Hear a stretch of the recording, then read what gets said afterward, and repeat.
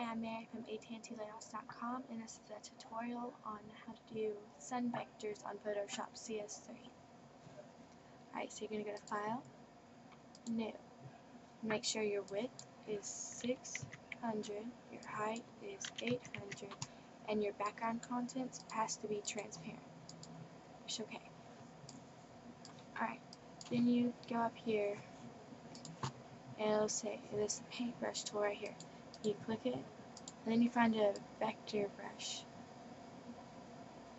You can use any of them you want, but I prefer just a regular straight one for your first time. Now change your media master diameter to 850. Make sure you have it on the color you want. And then hit it about twice.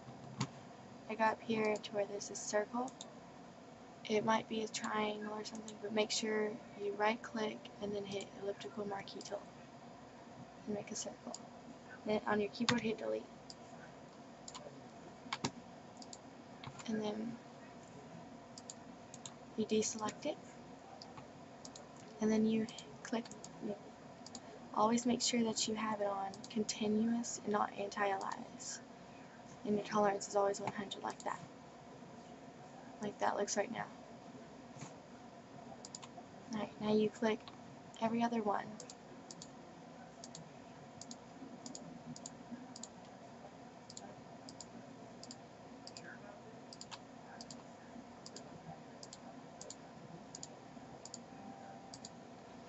Alright, and then you take your paint bucket tool right here, or it might be a gradient tool, just right click and then hit paint bucket tool. Now make sure up here it says foreground and then your mode is normal and your opacity is 100%. Alright? And then you choose another color. I'm going to go with blue. And you fill that in.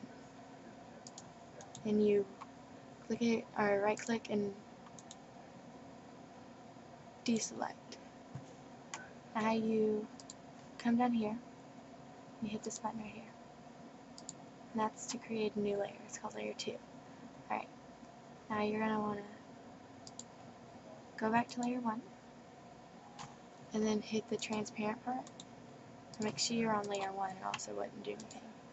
Make sure you're on the transparent part. Go back to layer 2. Choose another color. And then fill it with the paint bucket tool if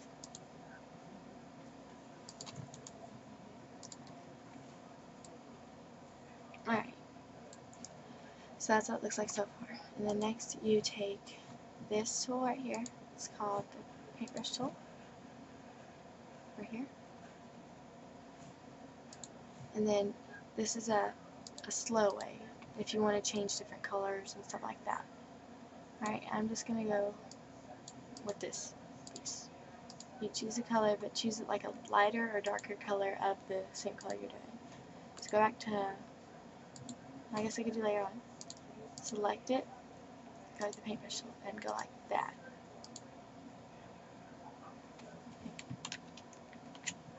Or you can go here and make sure you move it to anti-alias like that instead of on continuous. And then you select one, get a color like that.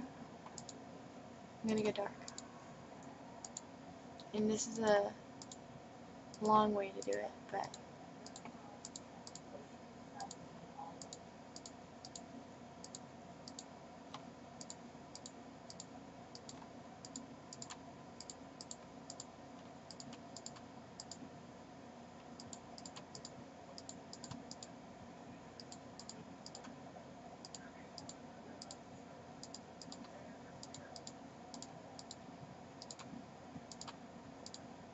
like that. Now there is a shorter way. We can do that with the blue. Select the blue. Take your paint bucket tool right here and then change this to pattern. Choose your pattern out of one of your patterns. I'm going to go with polka dots. And you make that say normal and you change your opacity to 150 somewhere around there. Then you just click. Now you got circles on there. It's tons easier that way. Then you go back to layer 1, or layer 2. And you you select the pink part with your wand tool. Then you right click on that and do blending options. Right, and you're going to choose something called a pattern overlay, like that. It's going to look bad at first. You're going to change it to something you want, like I'm going to do zebra. And you can make that dimmer, something like that. And then you're going to want to stroke it. And you, how do you get it? You check the box and then hit the word. You click the word and then go down to pattern. Make sure you have a line tool here, like that. And then change your size to 2, like that. And then if you want to do extras, you do bevel and emboss, right there. And you can change that to 176 and 67. Then change your size to 9, or however big. I usually go whatever size looks good. Then you'd go to your opacity to 100, and your opacity to your shadow mode to 100. You could do other things like that, but for now, that is what a vector is like.